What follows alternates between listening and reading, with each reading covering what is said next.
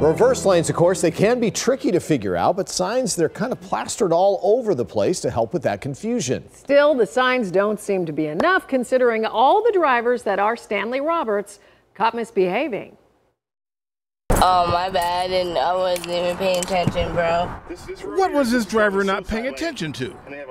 Well, it's this sign, and this sign, and this sign, sitting right next to the traffic signal where basically, unless your eyes have the ability to zoom in for a close up, drivers can't help but see the sign.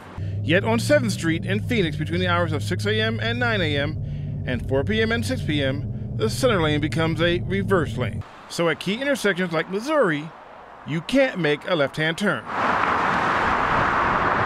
I'll try that again. You can't make a left hand turn. Really? Okay, let's try it this way. You are forbidden from making a left hand turn. All right, I give up. Maybe people don't know the rules, or they simply forgot about it. How could you forget about it? I mean, there's signs everywhere that say, you know, the times. How could you forget? Honestly, i just moved from Washington, so I didn't even know. So yeah, there's so many crashes here because of people doing that. What you just did. Let's face it. Either the city has to reconfigure these lanes or get rid of them altogether. Meanwhile, a few miles away, a suicide lane crash where the driver was issued a ticket for improper turning from a left lane. She actually admitted to me that it was her fault.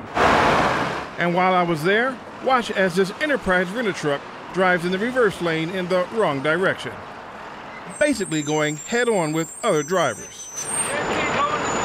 Until he gets instructed by a Phoenix police officer to move out the reverse lane. Also on the same day, another driver admitted to running the red and hitting another car. This is an improper left-hand turn. If the cars are coming toward you in reverse lane, you cannot make a turn across the suicide lane. The fine for making the unsafe turn is $179 and points on your record. And ignoring the no left turn signs, that is also a moving violation and will set you back $179. Well, I, I didn't know, so I'll know now. I won't turn like that. In Phoenix, Stanley Roberts for Arizona's Family.